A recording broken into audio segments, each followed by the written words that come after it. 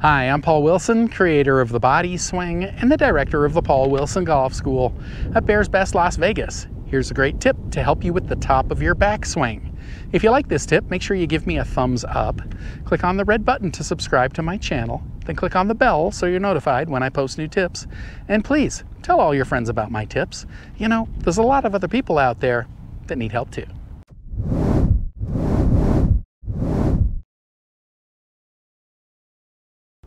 In this tip, I'm talking about the lead arm at the top of the backswing. So, you know, there's a lot of people out there trying to force the lead arm straight.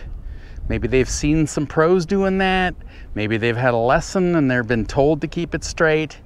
That is something I in no way want you to do. Okay, if you start looking at pros, there's some pros have the arm straight. A lot of pros have it bent too. Just take a look at Scottie Scheffler, okay? New guy on tour, just absolutely dominating. His arm is totally bent at the top of the backswing. Another great example would be Freddie Couples, right? Doesn't everybody love Freddie's swing? Yeah. Arm is super bent at the top of his backswing. My arm, bent at the top of the backswing. I've always had it bent. I can't force it straight. I've tried. Can't do it. So I stopped thinking about it. What is important is does the arm straighten back up by the time you hit the ball? And you know what? Mine does. same as Freddie, same as Scottie Scheffler. Okay, we're not doing a chicken wing at impact. So just because it's a little bent here, that doesn't mean it can't stretch back out by the time you hit the ball. So why I don't like people working on this and trying to do this is because over the years, when I've got people and I take them to the top of the backswing like this, and I feel their arms right here, they are absolutely locked with their arms. So I ask them, you know, are you trying to keep that arm straight? And they're like, yeah, I thought you had to keep the arm straight. They are absolutely forcing this arm dead straight, and that is locking everything up right here. And that's why I don't teach that. I want you nice and relaxed. I want you not hitting the golf ball with your arms in any way. So we're going to the top, we're setting it up right here. My arm is extended, but it's not all locked up. I allow my wrists to hinge fully right here. Okay, now at this moment in time, I'm hitting the golf ball with my legs and hips, my big muscles, not the small muscles. Okay, that's how I'm doing it. That's how pros are doing it. Okay, we're using our legs and hips to hit the ball, not our hands and arms. So I know there's lots of pros that keep the arm straight. I get it. I've seen it. I've measured it. there's a lot that keep it straight, and there's a lot that bend it because I've measured those too. Okay, so don't worry about straightening out the arm. I'm trying to get you to loosen up.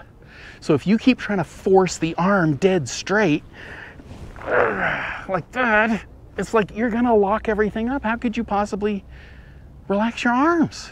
They're already all locked. Wrists are probably locked too. Okay, so let's start to loosen up a little bit. You know, a drill I gave in one of my previous tips was I will get you perfect lag literally in two minutes. Two minutes, yeah. Perfect lag. And I've proven this time and time and time again. How do I get people to do that? Because everybody seems to want lag. I show them how to get it in two minutes and they don't do it. It's like, okay, well, there's no faster way to get it than this. All you got to do is break your arm. Okay, so you go like this. You take your club back like this, break your arm right there. See, broke. And rest the club on your neck right there hit the ball. I guarantee in two minutes you'll have perfect lag. Because you're not all locked up. If you break your arm like this, your arms are relaxed. Now you can fire the body first, allowing the club to follow. What does the word lag mean? It means something is trailing behind something else. So if you keep going like this, expecting to get lag, that's never going to happen because you keep moving the club before your body. You need to reverse that. You need to move your body and then the club, and then it lags behind your body. Okay, but to get that, just loosen up your arms. Okay, so good little drill. Take it back like this, literally touch your neck right there. Then hit your shot. Touch your neck, hit the shot. Okay, when I say touch the neck, that gives you feedback to tell you where the club is. I'd like the club to be parallel, okay, to the ground. That will fully hinge your wrists right here. Don't let go of the club, okay? It's, we're breaking at the elbow. So we're going like this, touch your neck, hit your shot, okay? Like this, right here. Nice and relaxed, touch your neck, hit the shot.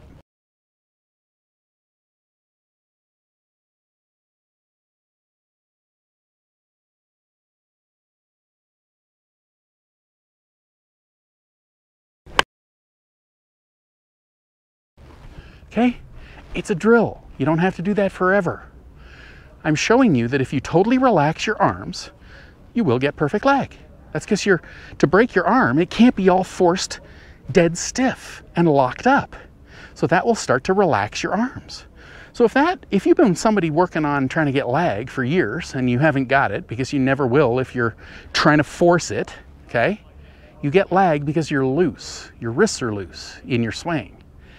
Okay, that's how you're gonna get lag. So if I show you a drill and you go out and video it, and I get you perfect lag in two minutes, then why would you not keep doing that? Get used to that. Maybe you do that for, you know, a week or two. You go like this, hit every ball, you know, on the range or at home. I'd be doing tons of practice swings. Do that for a week or two. Then what you do, when you go back like this, instead of touching your neck, you just keep it a little bit off your neck. How's that? Well, you know what that's going to look like? If you don't quite touch your neck, that's going to look like a pretty good swing. So watch. I'll go like this. Just don't quite touch your neck. See?